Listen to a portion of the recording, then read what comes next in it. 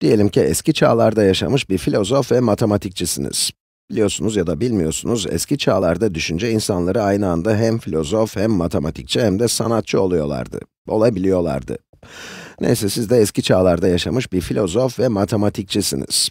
Amacınız matematiği oldukça geniş bir alanda kullanıp tanımlanabilecek her şeyi tanımlamak.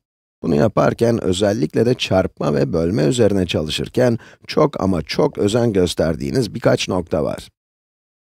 Mesela bir bölme işlemi yaptığınızda çarpmanın bu işlemi bölme işlemini tersine çevireceğini biliyorsunuz. Evet, bu prensibe sıkı sıkıya tutundunuz ve bir bölme işlemi yaptığınızda bir sayıyı başka bir sayıya böldüğünüzde, böldüğünüz sayı için bölme işlemi tanımlı olacak.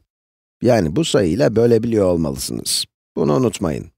Evet, ne diyorduk? Bir sayıyı başka bir sayıya böldüğünüzde ve sonra da bu başka sayıyla çarptığınızda ilk sayıyı elde edeceğinizi varsayıyorsunuz. Kısacası bunun sonucunun x olacağını düşünüyorsunuz.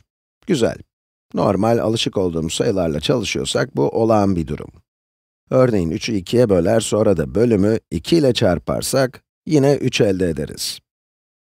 10'u 5'e böler, 5 ile çarparsak sonuç yine 10 olur. Varsaydığınız başka bir şey daha var. Hangi tanımlamayı yaparsanız yapın, bütün x'ler için x çarpı 0'ın 0'a eşit olduğunu kabul ediyorsunuz. Evet, matematiğin kullanım alanını genişletmek istiyorsunuz ve aksi ispat edilemez varsayımlarınız da bunlar. Bunları aklınızda tutarak sıfıra bölünme işlemini incelemek istiyorsunuz. Tabii önce tanımlama yapmanız gerekiyor. Bir varsayımda daha bulunarak x'in sıfırdan farklı bir sayı olduğunu kabul ediyorsunuz. Sıfırdan farklı. Sonra da x bölü sıfırın sonucunu bulmak için ya da tanımını yapmak için en iyi yolun, bunun tanımlı olduğunu varsayıp, olası bir sonucu incelemeye karar veriyorsunuz. O halde gelin, x bölü 0'ın y'ye eşit olduğunu varsayalım. Yok, bu yukarıda yazdıklarımızla karışacak. O yüzden farklı bir değişken kullanalım ve diyelim ki, diyelim ki x bölü 0, k'ya eşit. Eğer bu doğruysa ve amacımız tanımlama yapmaksa, 0 ile çarptığımızda ilk sayıyı, yani x'i elde etmeliyiz. Evet, bu doğru olarak kabul ettiğimiz bir varsayım. x bölü 0 eşittir k. Sol tarafta 0'a böldük, bir de 0 ile çarpalım. Eşitliğin bozulmamasını istiyorsak, bir tarafta yaptığımız işlemin aynısını diğer tarafta da yapmalıyız. O zaman, burayı da 0 ile çarpalım. Evet, bu, buna eşit. Sol tarafı da sağ tarafı da 0 ile çarptık. Bu ilk varsayıma dayanarak sol tarafın x'e eşit olması gerekiyor. Ve ikinci varsayıma dayanarak da sağ tarafın, buranın 0 olması gerekir. Ama ne oldu? Az önce yaptığımız bir varsayımla çeliştik. x'in sıfırdan farklı bir sayı olduğunu söylemiştik ama şimdi x'in sıfıra eşit olduğunu söylemek zorunda kaldık. Doğru kabul ettiğimiz iki tane varsayım vardı.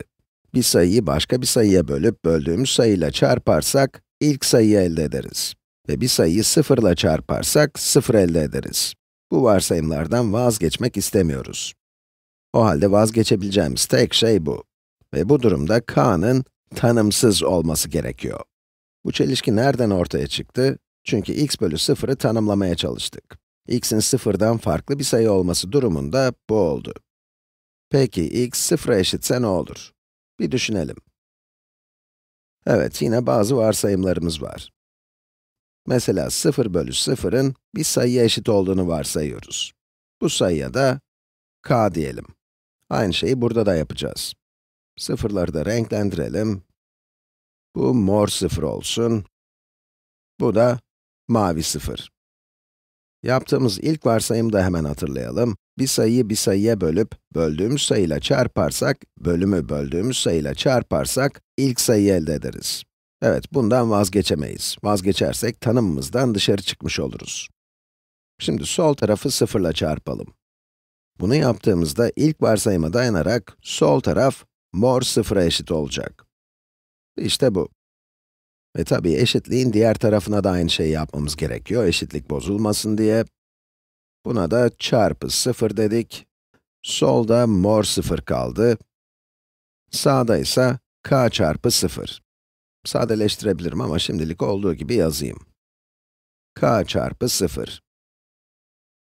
Peki, burada ne keşfettik? Bu bir çelişki değil. Burada bir çelişki yok. Hatta tüm k değerleri için doğru olan bir şey bulduk. Yaptığımız ilk varsayımla vazgeçmek istemediğimiz varsayımlardan biriyle de tutarlı. Hemen not edelim. Tüm k'lar için doğru. Çelişki yok. Yapmak istediğimizi tam olarak yapamadık. Yani bu işlemi yaparken amacımız k'yı bulmaktı. Sonuç 0, 1, eksi 1 çıksaydı daha iyi olabilirdi ama olsun. Tüm k'lar için geçerli, doğru olan bir şey bulduk. k'nın ne olduğunu bilmiyoruz. k 100 binde olabilir, 75'te. Evet, k'nın değerini belirleyemedik. İşte bu yüzden ilk matematik derslerinizde 0 bölü 0 işleminin belirli ve tutarlı bir sonucu yoktur. Bu yüzden tanımsızdır diye anlatılır. Evet, diğerlerine göre daha doğru sayılabilecek bir cevap yoktur. Ama aradaki farka bakın. 1 bölü 0'ı tanımlayamadık, çelişkili sonuçlar çıktı. Çelişkili sonuçlar elde ettik. Ama 0 bölü 0 için belirli bir sonuç olmadığı sonucuna ulaştık. Yani sonucu belirleyemedik. İleride göreceğiniz matematik derslerinde, hatta kalkülüs dersi alırsanız, kalkülüs dersine girerseniz bununla sık sık karşılaşacaksınız. 0 bölü 0 işleminin sonucu belirsizdir. Belirsiz. Belirsiz.